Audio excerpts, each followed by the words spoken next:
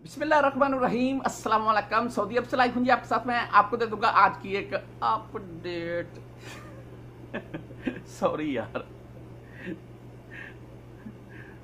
अच्छा ये वीडियो मैं काटूँगा नहीं, यहाँ से ऐसे ही रहने दूँगा। अगर आप भाइयों को ना अच्छी लगे तो मुझे बताइएगा ज़रूर। अच्छा न्यूज़ के मतलब बात करते हैं। न्यूज़ ये है कि एक परदेसी भाई, सऊदी अरबिया में मुकीम है। प्रदेश की याद आने लगी है, जी। मुझको भी बहुत आती है, मैं भी सऊदी अरबिया में मुकीम हूँ। अच्छा पहले जब मैं रह के गया मैंने पाँच साल लगाए हैं। पाँच साल बाद गया था छुट्टी।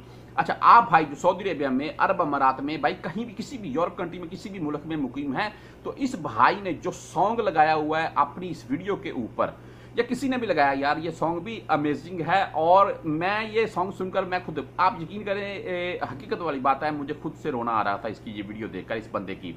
तो इसे प्रदेश की याद आ रखी है यहाँ पर बेचारा रो रहा है मैं भी रोता हूँ यार कोई बंदा ऐसा है ही नहीं जो अपने घर बार को या अपने गाँव को दोस्तों को अपने माँ बाप को याद करके कभी ना कभी उसकी आँखों में तो आँसू ज़रूर आए होंगे। आप भाई मुझे मिनट में यार अपनी राय भी दीजिएगा। इस बंदे की ये वीडियो देख लें पहले उसके बाद आगे बात करते हैं।